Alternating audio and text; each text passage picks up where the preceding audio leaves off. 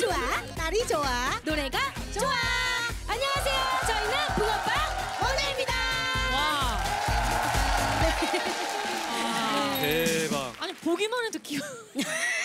대박. 자꾸 웃음이 나죠 아, 너무 좋아요. 아, 아, 저는 정말요? 저는 네. 진짜 정말 좋아요. 이렇게 아. 예, 보기만 해도 이렇게 막 밝은 에너지. 제가 웃음이 많아가지고 네. 웃는 걸 저도 좋아요 너무 좋아요 웃음 소리가 재밌어서 아니, 노래가 좋아.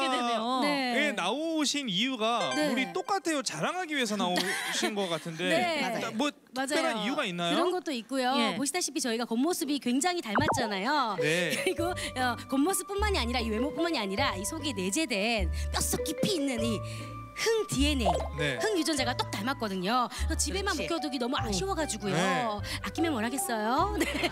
우리 엄마가 또 노래가 좋아 좋아하시는데 여기 와. 와서 저희 붕어빵 모녀의 매력을 마음껏 발산하려고 출연을 와, 결심했습니다. 예, 잘 나오셨어요. 네. 뭐가 어떻게 닮았길래 그렇게 쌍둥이처럼 닮으셨다고 하시는 거예요? 그렇죠. 일단은 머리 모양이 똑같고요. 네, 맞네요. 완벽해요. 그리고 목이 좀 짧고 굵어요. 네. 그리고 배가 좀 빵빵합니다.